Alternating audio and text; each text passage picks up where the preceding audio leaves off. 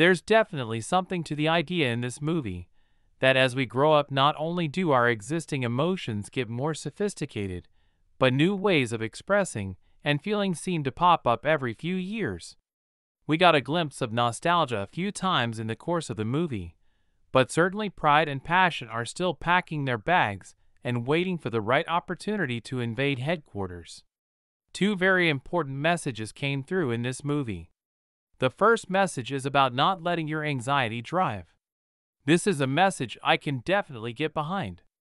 I've told my two greatest fears before. My greatest fear, without any doubt, is burying another child. My second greatest fear is leaving my disabled son alone in the world without me there to care for him. When sharing our greatest fears was used as a team building exercise a few years back, a coworker commented, There's no happy ending for you, is there? No good death after a good life? Just one bad end or another. And in a way, they were right. But there are lots of really good middles. This year, I've been focused on getting the social services set up that my son will need going forward and it's been kinda stressful at times. Today, I'm taking the practical exam for my CNA, because as a CNA, I'll be able to direct his care better. I'll have more authority, and I'll have more skills. Actually, I have the skills, that's why I'm testing, but you know what I mean. During the education process, it's come up a few times that I'm not a good fit for a career in nursing. I'm not a people person. I'm not a check the boxes person. I'm more of a get it done and go home type. All the personality tests say that I should stay as far away from nursing as humanly possible. And yet, I am very much a do right by my kids type. There are vanishingly few people I trust more to be in charge of my son's daily activities than myself.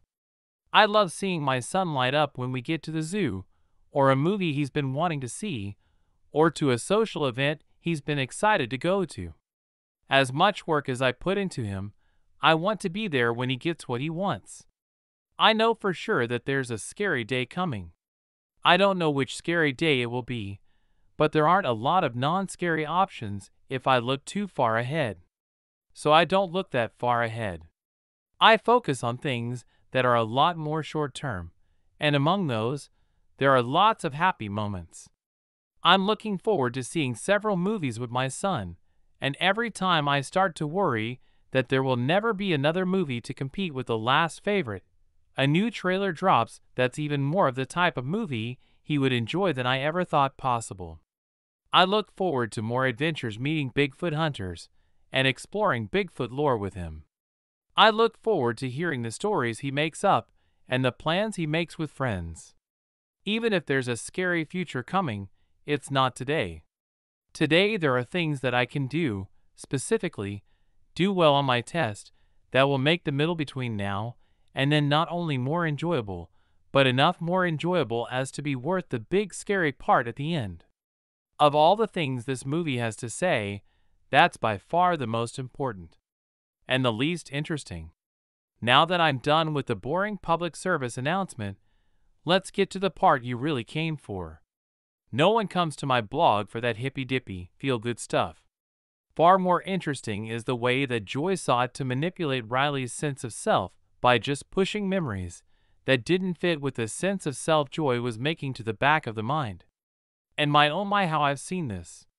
At one point in my life, I was remodeling my bathroom, running a kung fu school, raising a developmentally disabled son, and working full time with a two hour commute all at the same time. I would tell people that I didn't like being busy all the time. Then I realized one day that if I really didn't like it, I would change it. A few years later, I really did change it. I really did cut back on things that were making me busy against my will. I couldn't have done that without the self reflection to realize that I was actually in control. I could say no to a remodel to the Kung Fu school, to my job. Now, I make the effort to upload something to my blog twice a week. Thursday, something light based on a movie, and then Saturday, something that's weighing on me from my theological journey. But I've given myself permission to miss a day. It's been a long time since that happened, but if you flip back through the Thursdays, I'll bet dollars to donuts you can tell which weeks I've had time to pull my thoughts together and which weeks I'm struggling to make it on time. I'm okay with something that's two paragraphs saying barely more than what I liked in a movie, if getting that out reduces my stress instead of increasing it. If it would increase my stress, then I'll skip it. That's also why sometimes it feels like I cut off in the middle of a thought. I'll get just enough thought out to keep it from weighing me down, then bedtime.